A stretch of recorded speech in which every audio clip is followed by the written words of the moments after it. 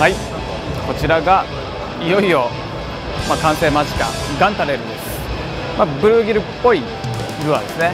でこのルアーは3ジョイント。で投げて巻くとこうひらひらと泳ぐ感じですね。まああの水の抵抗をそれなりに巻いてると感じるんで投げてただ巻くだけでもあの使いやすいルアーになってます。で特徴的なのがこの顎の部分。もちろんこっち上にもラインアイあるんですけど顎の部分にもアイがある。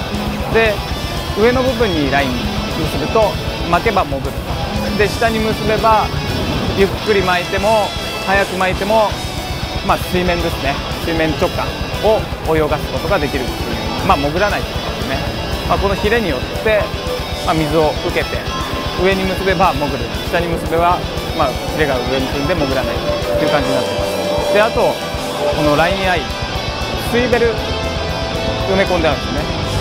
でこの手のルアーってキャストするとやっぱりぐるぐる回りながら飛んでっちゃうことが多いんですよ。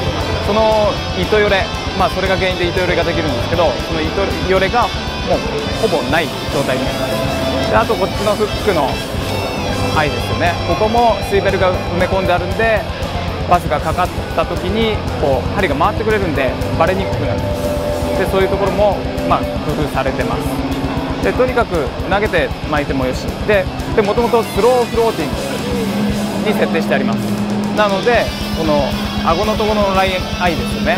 ここにシンカーとかをこうぶら下げることによってサスペンドにしたりシンキングにしたりといろんなレンジを探れるんで、まあ、1つで上から下まで探れるようなルアーになってます、まあ、このルアーもかなりあの強烈なルアーなんでお楽しみに。